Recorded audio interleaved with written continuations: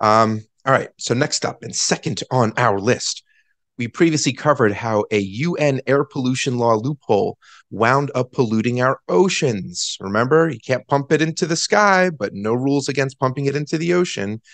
Well, the prime ministers of the island nations of Antigua and Barbuda um, appeared at legal hearings at the International Tribunal for the Law of the Sea in Germany, of all places, landlocked, um, to give people show up with tridents.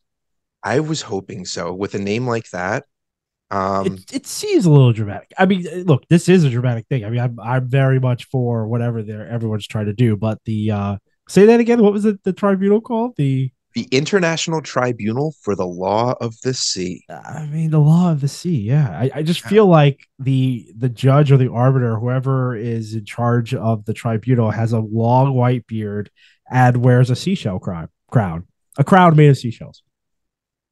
That's it. Feels more. It would not be surprising if if that were televised and I saw a man with a long white beard holding a trident and a sea and a crown made of seashells. I wouldn't even bother. He doesn't have a gavel. He has one of those big seashells he kind of blows into. I a conch.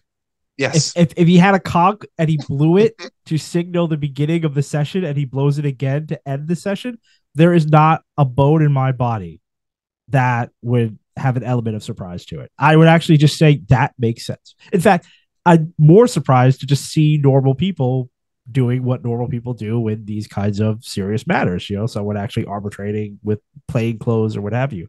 Uh, look, if the English can wear still wear wigs, okay, for their judicial proceedings, I don't think that this is completely out of the ordinary for a man to wear a seashell crown or a woman or or or non-binary, whatever, to wear a seashell crown and uh and, and arbitrate over the law of the sea um tribunal. I'm going to call it that, by the way. Now, the law of the sea tribunal. Yeah, there you go.